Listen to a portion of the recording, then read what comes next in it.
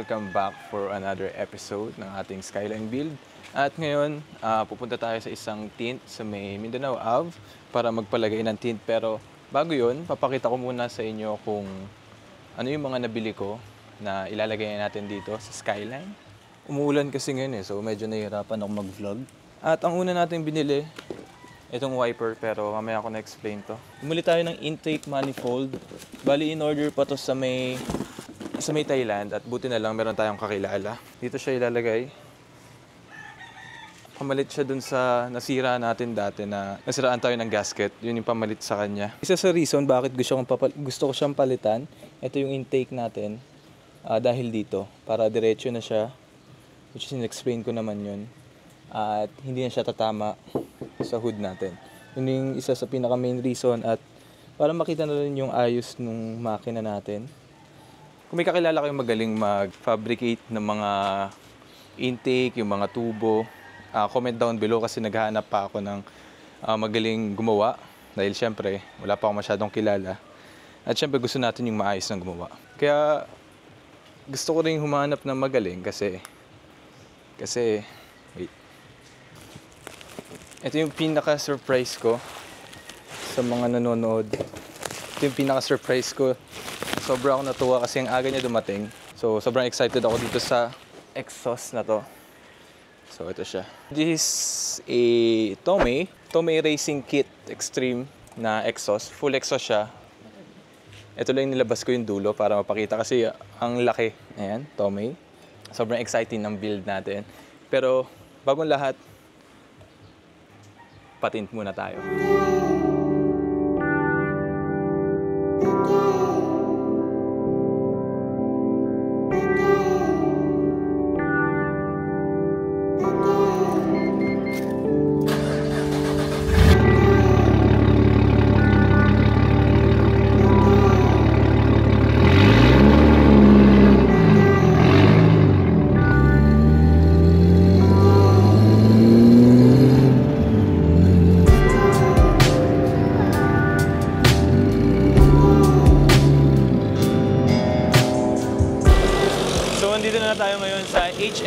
H&B Raptex para magpa-tint. Andito lang siya sa Mindanao Ave.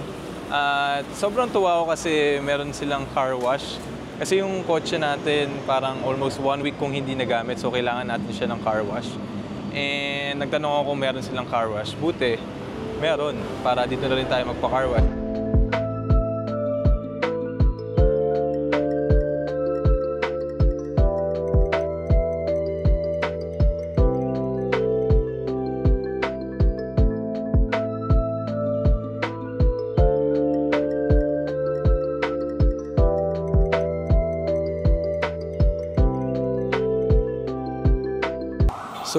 Nag-offer din pala sila dito ng mga wrap.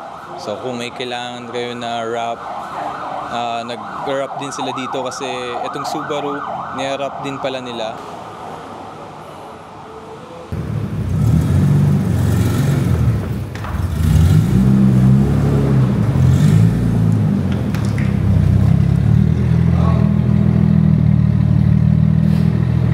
Meron silang light, dark, ano to? Medium? Medium, ba tawag? Super dark. Ah, super dark, medium, tapos ito yung pinaka-light. Light yung napili natin.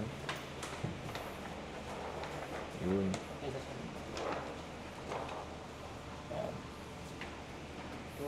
Itong nasa Subaru kasi yung... Medium to, no kuya? Itong nasa Subaru, medium? Yes. Medium. Ito yung medium nila. Kita naman loob kaso gusto ko mas kita pa yung labas. Kaya mas napili ko yung light kasi mas gusto ko na kita ko sa loob. Kasi yun naman yung purpose ko. Kasi yung isang kotse ko, yung daily car ko, naka medium and dark yun, yung harap likod. Ay, yung harap medium, yung likod dark. So mas gusto ko naman magkaroon ng kotse na kita yung labas. Pero syempre at the same time, kaya tayo nagpatin kasi para hindi siya sobrang init. Kasi nakita naman yung mga past vlog ko na sobrang pinapawisan ako kahit na maayos na yung aircon natin. Pero dahil wala tayong tint, yung araw niya nandun pa rin. Isang problema ko kasi yung wiper natin kanina, napalitan na natin yung isa. Pero to, yung sira, nagasgasan siya. Kitang kita. Ah, kaya lahat lang. Kitang kita. Akala ko, sa labas ilalagay yung tint. Nakalimutan ko, sa loob pala siya nilalagay. So, dapat hindi mo na natin papalagay yung, yung sa harap kasi may gas-gas. Pero sabi ni Kuya, sa loob naman pala nilalagay yung tint. So, hindi siya magiging problema. Pwede pa natin pagawa yung ano, gas-gas nung, nung windshield natin.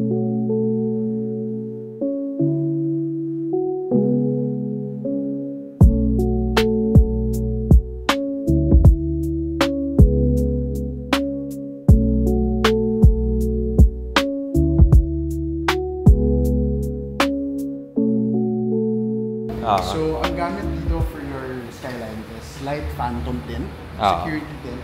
So, it's the same as medium and dark, but of course, it's light. So, takbong pogi lang. Kita So, pa ano yung, yung di ba may heat ang tawag doon? Yung nakakabawas ng heat. Reduction ba tawag doon? Yeah, So, yung UV reduction Ah. siya. So, any type of tint naman, uh, depending on your preference, light, medium, or dark, same pa rin yung heat reduction niya or yung UV reduction niya. Mm. So, kahit sabi mong kita ka pa rin sa loob, it's still going to do its job. So, depending na lang kung ano yung style mo sa paggawa. Mm. So nabanggit sa akin nung nung last time na nag-usap pala tayo, 'di ba? Parang sa tint parang ang buhay lang niya ilang years. Yeah, 5 5 to 10 years naman siya. So, kasi parang sa tao lang, Ah. na pag natatamaan ka ng heat, magdedecay yung skin mo. So, kailangan din ng parang skincare. So, parang ito yung skincare ng mga kotse. Mm. So, 5 to 10 years, replace na yun. And of course, di ba, parang pag may kotse ka, after 5 or 10 years, you're planning to replace it. So, ganun siya. Uh, quality, yung nakita mo, pag medyo medyo ano na yung tint, parang decayed na. Mm. Pag yung may mga purple, Ah. so pag may nakita kang purple sa daan, di ba? Yun.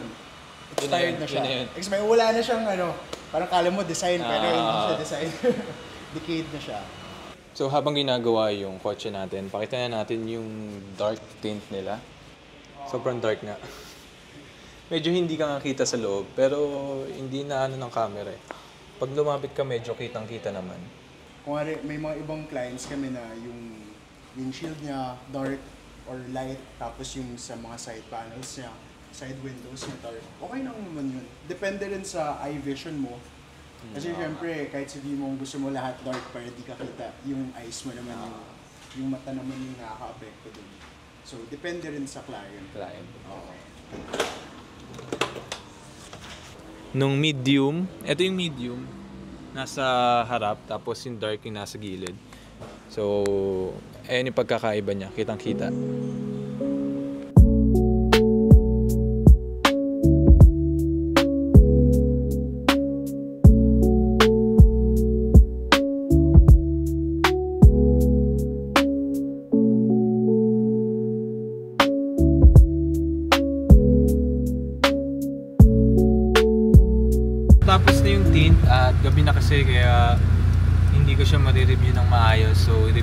Natin siya bukas ng umaga.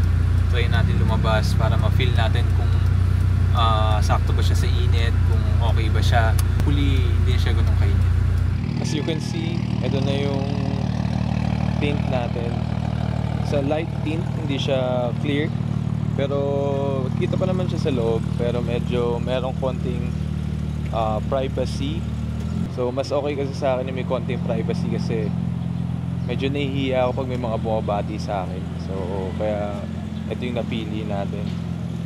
Ito yung itsura niya. Ayan. Natin malayuan. So, eh, hindi kasi mainit ngayon. So hindi natin makikita kung hindi pa natin matatry kung okay ba yung tint. Pero tingin ko naman okay siya. Ah, kung may kailangan kayong mga foil, mga wrap, meron din doon. Mga detailing, meron din doon. At yun lang, dinetail din pala yung auto natin.